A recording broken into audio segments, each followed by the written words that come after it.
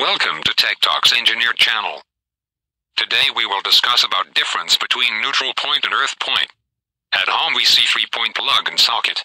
Among these three points, this one is live point of single phase, this is neutral point, and this is earth point.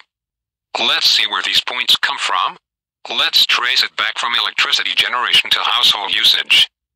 Inside electricity generator, star-connected three coils are placed 120 degrees apart, and three-phase electricity is generated.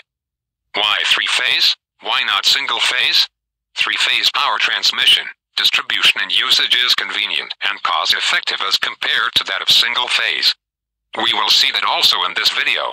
Generated power is stepped up using step-up transformers, and then transmitted at high voltage.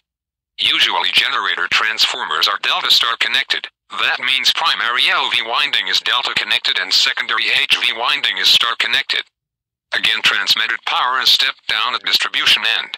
Distribution transformers are generally delta star connected. That means primary HV winding is delta connected and secondary LV winding is star connected. At consumer end single phase supply is given. Load is equally distributed on each phase, so as to have balanced three-phase load. And common neutral is used for all three phases which minimizes cost of conductor. Earthing is done locally at consumer end itself. This is how live, neutral and earth terminal reach our houses from generator end. Now let's see function of each terminal. As we have seen live terminal is nothing but the phase terminal, which is the source of power. Neutral terminal is used to complete the path for flow of current. Earth terminal is used to earth the body of electric appliances such as refrigerator, air conditioner etc so as to pass any current leak into appliance's body, due to insulation failure. Hence earth terminal maintains body of appliances at zero voltage. So in case anybody touches it, does not experience electric shock. Since current flows to the ground through least resistance path that is earth wire and not the human body.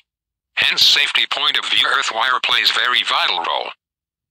At electric substation, we can see both HV and LV windings of this particular power transformer are star connected. Here we can see their HV neutral and LV neutral points are earthed using metal strip. Also we can see that body of this transformer is earthed using metal strip. So we can see both neutral earthing and body earthing of transformer.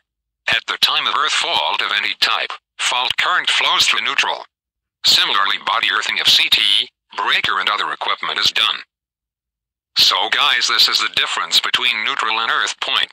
Hope you liked the video. If yes please comment and hit the like button. For more videos, please subscribe. Thank you.